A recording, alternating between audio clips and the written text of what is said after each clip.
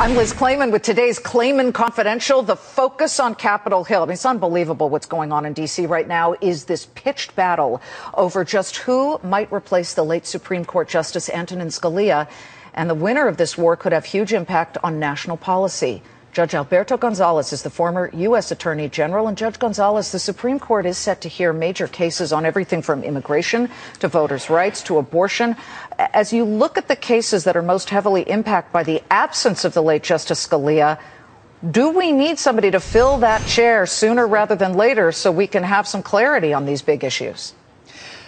I would say sooner. I mean, the Supreme Court was not uh, designed in a way to to uh, operate uh, efficiently with, with, just eight justices uh, because you have some very controversial issues, and oftentimes it, it, it uh, the result does hinge on one vote. So, uh, honestly, I think the court would operate best the way it was intended to operate, and that is with nine members.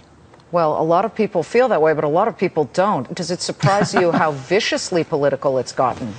Well, we're in the political cycle, aren't we? And yeah. uh, so it's it's not surprising given the, the current political climate in Washington today. And and this this uh, appointment by the president uh, has huge ramifications for the jurisprudence of this country and the future of this country on so many controversial issues that you mentioned. And so uh, it's not at all surprising that you'd have the kind of rhetoric that we're hearing today from, from both sides, quite honestly. Both sides, 100%. Judge Alberto Gonzales, great to see you. Watch our full interview with Judge Gonzales on lizclaman.com.